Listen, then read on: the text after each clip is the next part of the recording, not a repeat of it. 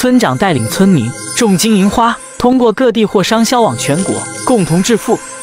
爹，我们要不要买一辆驴车？以后肯定要经常去镇上和县城卖东西，没个驴车真不行，而且也不好天天向岳母家借驴车用。行，昨晚我已经和你娘说好了，那我们先去看看驴车，然后再去买果苗。叶老爷子将这里的每一头驴都细细打量过，最后选中了一头刚成年的公驴。这头驴子皮光肉滑，一看就知道养得很好。老板就要这头了，多少银子？大哥真是好眼光，一下就相中本店最好的一头，原价二十两银子，今天本店打八折，买驴送草料，只需要十六两。哈哈，看来今天我们运气不错，相信今天应该也能买到品相不错的果树。你们是要去买果树苗？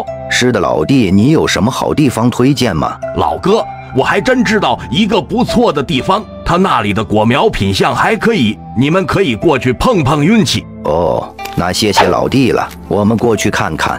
两人来到店老板说的地方，果树的品种挺丰富的。老板，这枣树多少钱一棵？这枣树都是两年的树苗，你看养的多好，种好明年就能结果子了，果子保证又大又甜。这枣树苗八十文一颗，买五颗送一颗。叶老爷子没说要还是不要，又看向一旁的柿子树。这是软柿子还是硬柿子？是硬柿子，软柿子不好保存，容易坏，买的人少。硬柿子可以做成柿饼，这柿饼在点心铺子卖十文一斤呢。老板见他们每一种树都细细打量过，觉得两人肯定是大客户，非常积极热情。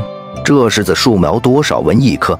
柿子树也是两年的果苗了，就剩最后这四棵。你要是全部都要的话，七十文一棵给你。行，四棵柿子树都要了，再要十二棵枣树。花椒树苗和八角树苗这两种树很少见，你这里有吗？这两种是药材吧？我这喽没有这个，不过你可以去货商那了问问，说不定能买到种子。好的，谢谢老板，给我们算下一共多少文？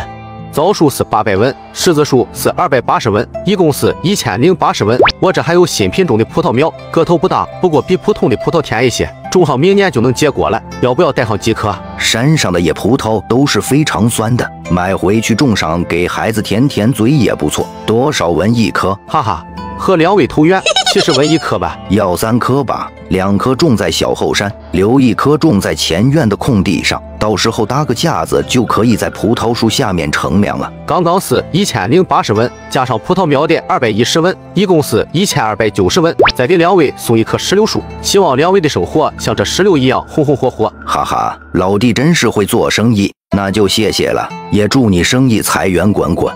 两人又在集市上转了一会，来到卖药材的货郎这里。老板。你这里有没有花椒八角树苗？还真凑巧，前段时间有位客人订了几棵花椒苗和八角苗，我找了好多人才找到这么几棵，但是过了时间也没见过来拿树苗。两位要的话，我就不等他了。要的要的，多少钱一棵？这花椒苗和八角苗不常见，这几棵果树我是花了大力气从其他人手中买来的，也不赚你们钱，给个成本价就好，七十文一棵，全拿走吧。行，全要了。爹，该买的果苗基本都买齐了，还需要买点其他东西吗？先买这么多吧，我们也是第一次种果树，先试试水吧。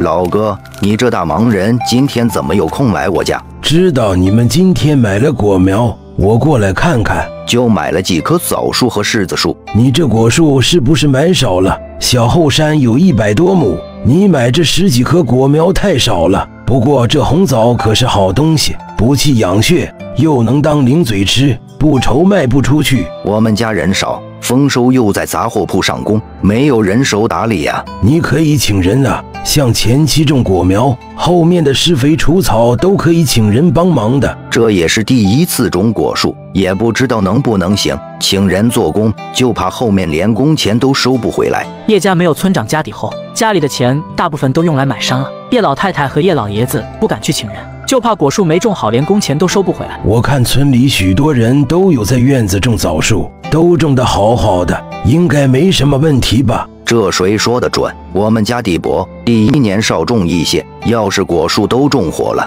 第二年就可以种多一些，一步一步来。你说的也有道理，但是还有一句话：风浪越大，枣越贵。哈哈，我不能和你比家底啊！你家的两座山，打算种什么果树？我已经让人在县里订了一百棵枣树苗，原本还想着明天去运果苗的时候，顺便再买点其他的果苗。想想还是先不买了，今年先种这一百棵枣树。可以啊，动作挺快的。你家现在种了多少斤银花？每座山大概种了二十亩左右吧。两棵金银花苗之间离得远，实际上也没种多少的。村长就是豪气。山脚的坡地，我打算种上一些豆子、玉米和红薯。家里有粮，心里不慌，多种点粮食，错不了。看着村长那财大气粗的样子，叶老爷子心里多少还是有些羡慕。